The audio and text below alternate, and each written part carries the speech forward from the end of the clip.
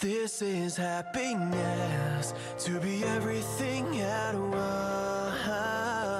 Be unblinded, be unlearned, be unbridled and unburned.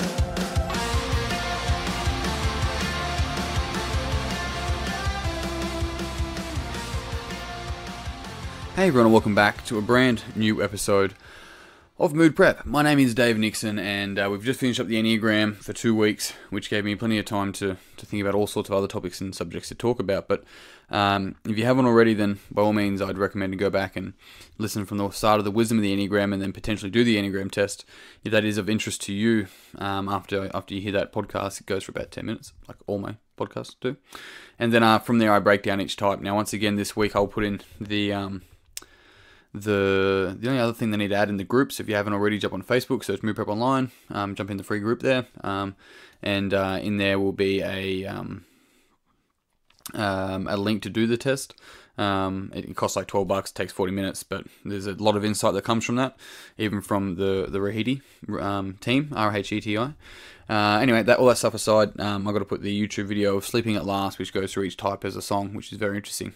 But let's move on. Enough of the Enneagram for now. Um, I also got some feedback. Enough of the Enneagram. Let me say one more thing.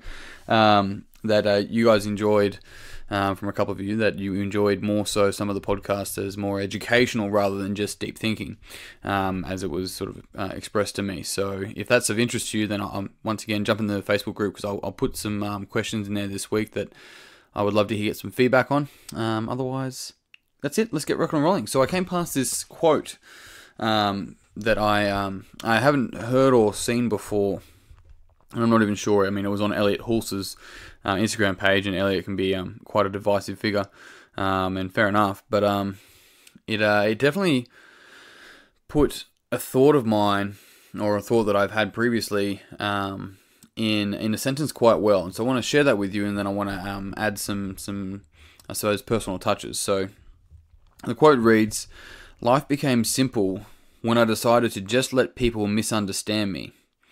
And that's a really powerful thing, hey? Like just let people misunderstand me. And I remember, for me, one of the early times was when I just finished. I worked at a gym called Flames, and um, that was from when I was 15 to 21 and at 21, I recognized that there was no more growth for me there. There was no more growth for me there. And I, I had talked about different ways of doing so, and it was kind of, it was not encouraged, so to speak, unless it was the way that that person who ran that business perceived it as growth, which was basically living by his standards. Uh, at least that's the way I perceived it. And so I was like, well, I'm out. And so I got this opportunity to go and work with another gym, which I did. And after six months, I would come on as a partner. And so um, I was uh, I was what I was 21 at the time, and I, I, went and went and worked there for I was only there for four months in in total before I started my own. But um, when I made the decision that I'm like this isn't for me, um, I don't I don't agree with the way they do things. I don't think they're doing things well. I can't be on the same bus if I don't agree with these people and where they're going, if they even are going anywhere. And so at the age of 21, I was like, nah, I'm going to do my own thing. And I had the opportunity to start my own thing, which I went on to do. And I remember um, speaking to my friend was one of the owners, and her, her and her brother. And I told her that I'm look, I'm, I'm going to finish up, and I gave space, I gave notice, and um, and she's like, I just don't understand why you would start something brand new when you've got something here that you know you, you're going to come on and own. And I'm like, well, I you know went on to try to explain it to her, and uh, she goes, it doesn't make sense to me. And she went on to say, if maybe if you can't explain it very well, it's probably not something you should do. And I just remember sitting there thinking, I go, I'm not going to make decisions based on what you understand. And this was a really important distinction that I remember making back then. And, and, and what Elliott shared was something very similar is that it's not your job for people to understand you.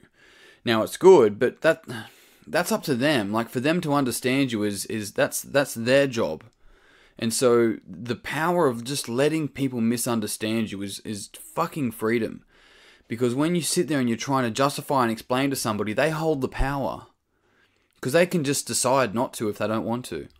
And so, so many of us may waste so much of our life trying to just get either approval, validation, understanding, um, validity, or something based off people who are fucking set on never actually understanding us. And it has nothing to do with them. That's us. Like, why are we trying to do that? Why do we think that's so important? Why do we hold this person in, in such high regard that their their understanding of what we're communicating is more important than just being misunderstood? There's a lot of power in being misunderstood because it puts the ball back in their court rather than rather than being in your court trying trying to understand. Because as soon as that happens, it's like, yeah, that's fine. You don't have to understand me. They're like, well, if I don't understand you, and then here comes some sort of rebuttal, it's just like that's your job. I don't think you really want to understand me. I don't think that's of interest to you. And then see what happens from there. But this this this power, and I do call it a power because what it is, it's letting go, and it's taking responsibility and ownership for what you're responsible. Because that, that that's that's a big distinction, right? Like when when somebody say misunderstands us, and there is a difference. Like let's say somebody misunderstands us and we're not explaining ourselves well, then that that's different. But at the same time, you can still be in that space and go, yeah, I just I, I don't feel like I need to explain myself. And and so they're like, well, I feel like I deserve something. It's like, well, they, they technically they don't. Technically, they don't deserve anything. Um, although it's it's it's it's up to you whether you want to put closure to it or whatever the case might be. I mean, there's so many, so many like variations to these types of situations. But the core message of all of this is to catch ourselves whenever we're trying to justify something to somebody and just stop and think for a moment and go, would I do this to everyone? And the answer is like, no, I wouldn't. Then why am I doing it to this person? Does this person have some sort of power over me that I've granted them? And if that's the case, why? Why have I given them that power? And the other thing is, do they actually want to understand me? And that's a question you can propose. Like that's that's that's a powerful question in itself because people go, I don't, it doesn't make sense, doesn't you know? It's just like, and there's times where I've used this to to to great utility where it's like, I don't think you want to understand. I don't think you want to see my point of view. And they'll potentially argue, and it's just like, well, what am I trying to say?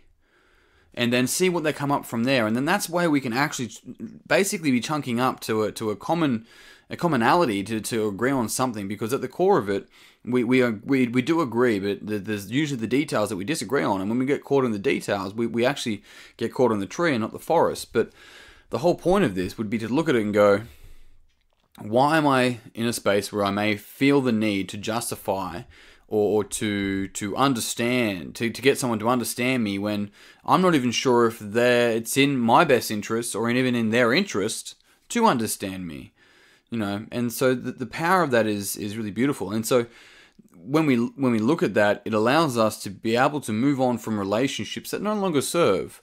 And you could be on either side of that. I've been on either side of that and i'm sure there's times in the future where that will be the case as well. The thing about it though is that life is so fluid it's just when we catch ourselves being in a space where we continually feel like we need to justify ourselves it, that becomes draining. It, it, it becomes like a almost a parent and child relationship, but often between colleagues or maybe between spouses or maybe between, you know, other family members. Maybe it's still our parents and we're well into our 20s, 30s, and 40s, 50s, and we're still having these conversations where we're trying to justify to our parents. I mean, I, have had calls with people in their in, in sessions and they're like, well, you know, they just, they just say this, and it's just like, so what? They're like, well, you know, and the mum's mum's mum always has the last say. It's like, why is this bothering you? You're a 35 year old. And that's, that's, I'm not judging you. I'm asking you, why is it bothering you?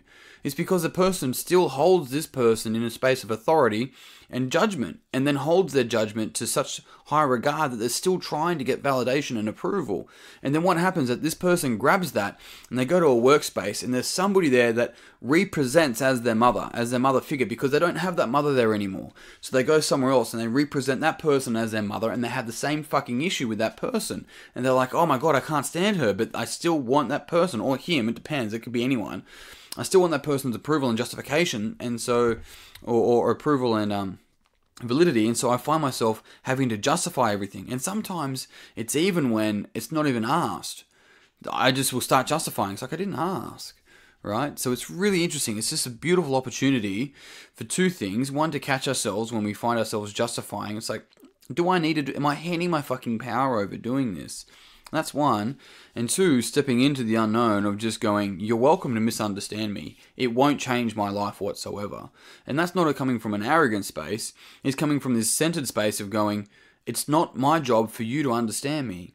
Now, not to be confused, and I, I, you know, I had this conversation with my spouse just earlier. Not to be confused with the ability to coach and adapt to learning preferences, so people can understand. That, that that's that's that's fine. There's there's, it's two different conversations, but the key thing, the key fucking thing, is when we catch ourselves in situations like this, handing our fucking power over, and then trying to do other shit to make up for it, to make us happy, no matter what it is take your power back. And it sounds so cliche, but the thing is, is that it's so fucking true. Is that we're still handing our power over in certain stages of our life. We're leaking power. It's like take that shit back. That's ours. Whoever tells you otherwise is is a is a fucking scared liar. And that's that. So the power there. Team, on that note, I am done. Thank you very much for tuning in this episode. If you found this podcast beneficial, it would mean the world to me if you'd pass it on to someone else that you think would also find it beneficial. Um, but on that note, I'm done. Like I said, until tomorrow, peace and pizza. Keep today in the dick. Slay the dragon. I'll see you soon.